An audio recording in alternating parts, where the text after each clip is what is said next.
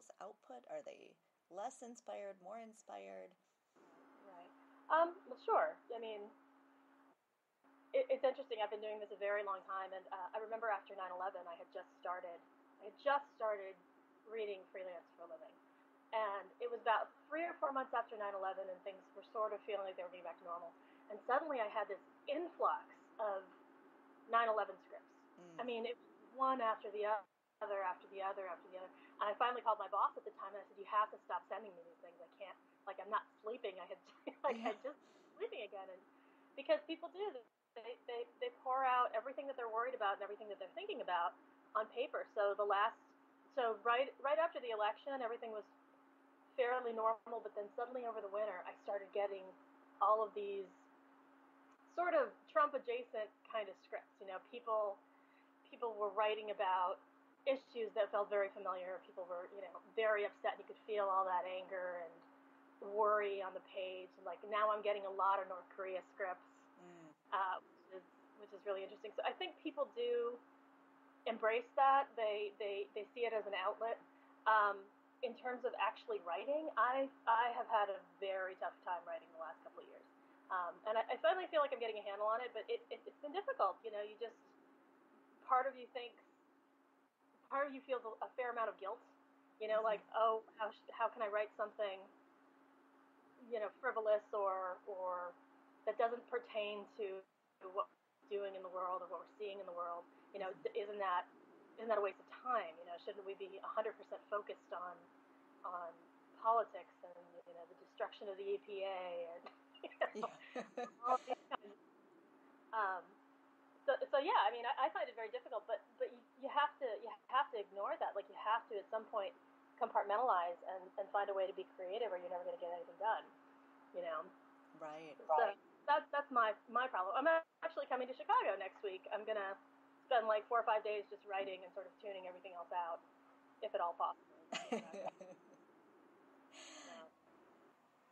yeah. I mean, I, you know, I find I've found myself to be more inspired. So, you know, most of my art is in knitting, um, but also, you know, I suppose in podcast creation and things. And I've been really inspired, but I've been inspired because I'm sort of leaning into the politics, right? You know, everything I'm doing is sort of directly related to. I think people go a couple of different directions too. Like I, I, uh, I've been uh, taking Lyft around the city a lot lately, and I, um, I keep asking, I keep asking my Lyft drivers if they've been watching the news, and it's so distressing how many of them don't listen to the news and don't, don't get involved and don't vote you know, and I'm horrified. I'm like, how after last year can you not vote? And the, the universal answer is like, oh, it's too upsetting. You know, I'm never get anything else. And okay, I understand I live in California, and California is at least my part of California is about as liberal as you're going to get. Mm-hmm. But uh, but still, it's a little it's a, little terrifying, you know. And I think it's just that there are different kinds of people. You you know, some of us feel that need to be connected and involved all the time, and then some people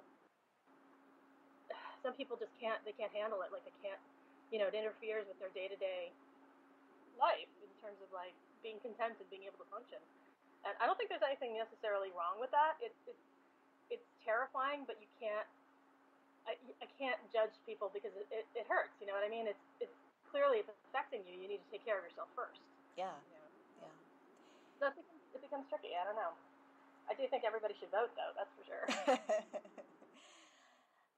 Yeah, I've been I've been thinking too about the people who do write uh, political fictional work. You know, so the people who write things like Veep or uh, House of Cards. You know, how do you how do you even imagine a world that's crazier than the world in which we're living right now?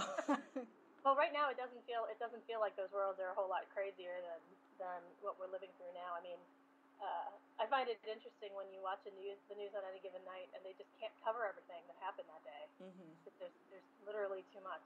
But um, I don't know. I mean, all writing, all writing, all good writing starts with starts with character. It's not even, it's not even so much situation. It's um, it's oh, you know, what if we had this? What if we had a character with absolutely no morals, you know, in this world? Where would we go with that? Or you know, or it starts with an idea like power corrupts. Okay, we're going to do a story about power corrupting, and you know we're going to build on that. Um, I, I think a lot of those shows, I mean, they're clearly informed by what we're going through, but it's not necessarily, they're not necessarily reliant on it, you know? It's, mm-hmm. it's, not docudrama, it's fiction. So, so you're, you're creating, once you get into that world, that world is going to operate by its own set of rules. You know, it's not necessary, if it happens to dovetail into like something that's going on now or they pull from things that are going on now, then that's great. Like, I know Law and Order likes to, uh, they, they pull their headlines from real headlines. Like their cases tend to be tend to echo tend to echo things that they find in the, uh, find in the newspapers or things that they read about or whatever. You know? So um, I don't know. I mean, I think House of Cards is uh, the thing I heard about House of Cards that was really interesting was that what was it? The Russians had had been watching House of Cards as a way of formulating formulating uh, media propaganda. Um, I'll have to find that article. It was really fascinating and sort of horrifying at the same time.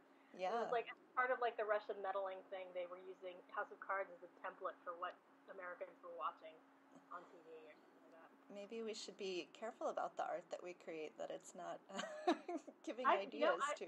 I disagree, though. I disagree. I think that's that's the that's that's the perennial question, isn't it? Like uh-huh. the minute we start getting into the question of like, should we watch what we're saying? Mm-hmm you know, and all of a sudden, you know, we're in we're in First Amendment territory, and you know, I may not like what other people are saying, but I, I certainly want, wouldn't want to shut it down. Sure. Um, so let's talk. Yeah.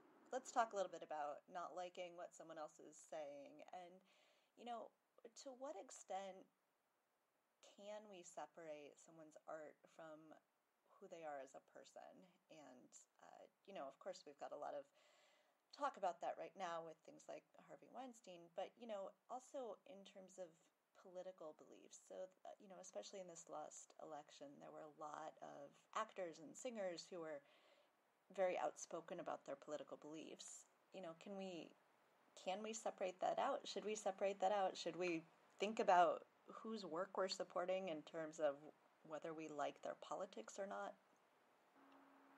I mean, I think I don't know that there's one answer for that. Like mm-hmm. I, I know people that aren't that have no problem separating the two. Like they they really they they don't feel um, they don't feel like a person like a, what what a person puts out in the world in terms of art is necessarily going to have any bearing on on how the, you know on, on, on their real life. You know? Sure.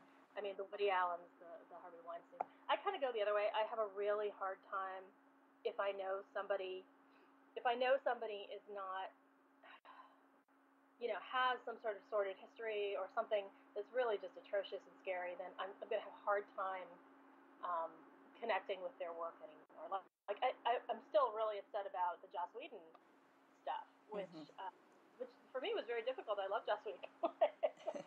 oh my God, what do I do now? But now, as, as you know, and it, it's been a few, a couple, a few weeks now, and I'm I'm kind of looking back over the stuff and thinking, you know, I'm going to have a really hard time watching reruns of Buffy now, which mm-hmm. is really tragic in a lot of ways because it, you know it was it was an important part of my formulative writerly, you know, education. Um, but I don't know. I mean, I think it. I think it's a.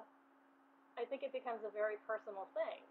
Like I don't want to be too judgmental and say, "Oh my God, you can't ever watch X, Y, and Z again." That's not you mm-hmm. know, everybody is, is entitled to their own opinions. Uh, it, it, I don't know. I mean, I know I'm not going to be able to like, you know, it's going to be hard for me to watch anything coming out of the Weinstein Company. Yeah. You know, especially and it's tough too. Even looking back, some of those movies are so, so fantastic, but but I have a hard time separating. Yeah, I do too. Although I wonder, you know, if you're talking about Buffy, for instance, you know, so it's it's hard on the one hand because of you know what you find out about the person behind it but on the other hand if if a show like buffy helps women feel more empowered you know it, it sort of goes both ways there right that it does it does because what do you do if the show helps women feel empowered but you know that part of the behind the scenes of it what is this you know very sort of anti-women manipulative uh, situation, like for me, it feels tainted. Yeah. I mean, there's there's certainly enough there's certainly enough material in Hollywood. There's certainly en- enough shows in Hollywood that, that you know that deserve credit, that deserve time and, and effort. Like, I mean, I don't have a problem if someone wants to go back and watch Buffy and enjoy it. That's great. I'm pers- I'm not sure that I can do that. At least not for a few more years. I might feel differently later on. Uh, this the same thing goes with like a lot of the Weinstein movies. Like like I said, I mean, it's not it's not the actor's fault. It's not the writer's fault. It's not the crew's fault. So you know, all of those things are legitimate things. A lot of those movies are legitimately excellent pieces of art. But for me, like the association becomes uh, becomes difficult. You know. So, um, but again, each their own. so, I mean, I know people that would that would argue the other way around too. Yeah. Like we should support we should support those artists, which we should. But eh, I don't know. Yeah. I don't know. So, but uh, I think the original question was about um, uh, political views. hmm Kind of the same thing, though, isn't it? Like, you know, if if if you know somebody is a was a huge Trump supporter, I, I probably am going to have a harder time, you know, wanting to watch them act in some movie because I'll I'll be sitting there, I'll be sitting there just thinking, oh, gee. Yeah. you know, I, I was actually uh, I was uh, visiting my parents uh, a few weeks ago, and um, and my mother found Lethal Weapon on on screen, and I was watching it and thinking, you know, this this movie's ruined for me because I still I still can't watch Mel Gibson in anything anymore, Mhm. even though you know, it's a great movie. It really is. It's like one of the classic action movies, but I just it, it's been ruined. So yeah, I don't know. I'm I'm a very sensitive human. I, I you know I can't do I can't do it. I can't separate. Yeah. So it it sounds like you haven't felt like you need to hide your political beliefs at all for your career. Oh no, but no, but I can't keep my mouth shut. I mean, that's part of the problem.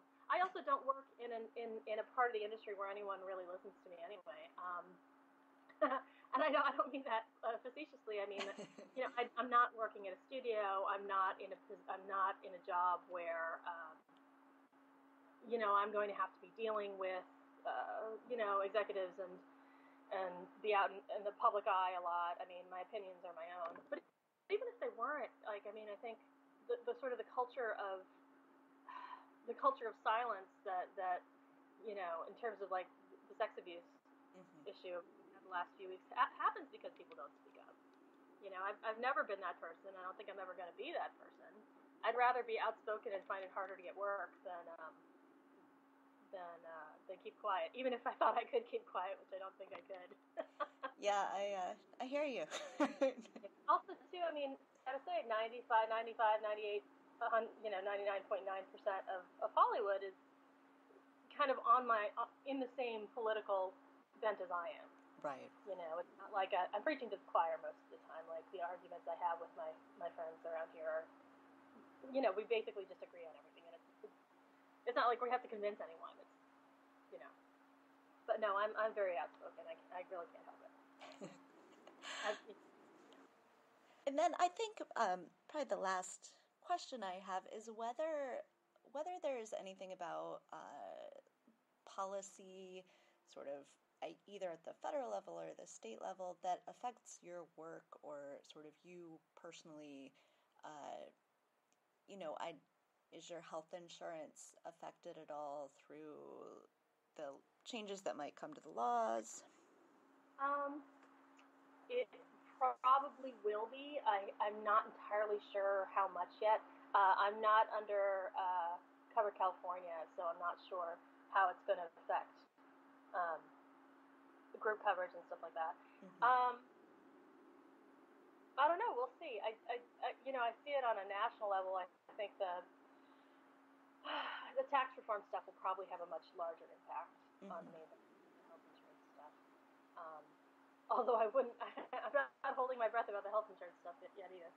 So uh, we'll see. Mostly, it's just uh, I'm, I'm mostly just outraged on sort of the national level. I I worry about the fate of our national parks, especially Mhm. living in California. Have such a large. Um, I worry about the the pollution, uh, the EPA stuff and the pollution uh, regulations. Um, but again, living in California, it's helpful. Yeah. We we still have pretty strong regulations. That's good. but things like, I mean, with the